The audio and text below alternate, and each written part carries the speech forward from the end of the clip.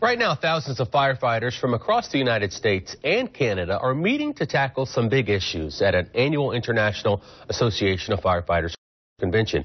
And one main focus this year is cancer. At this convention, a new report was revealed that has found that firefighters have an elevated risk for cancer. According to the report, the number one cause of death among firefighters is from occupational exposures to the toxins, carcinogens, and diesel exhaust. Randy Wyse is the president of the Jacksonville Association of Firefighters. He's at the convention and spoke with us via satellite. He said allowing firefighters to have a second set of what's called clear gear could help reduce firefighters' risk for cancer.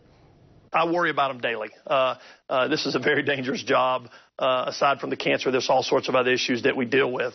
Uh, but again, we just want to bring to light this cancer issue. And, uh, you know, there's some more things we could do uh, second set of bunker gear. That's something that, that uh, the Jacksonville Association of Firefighters are going to push for, uh, is having a second set of gear. The study also found that firefighters have an elevated risk for PTSD, similar to combat veterans. Power 5, Power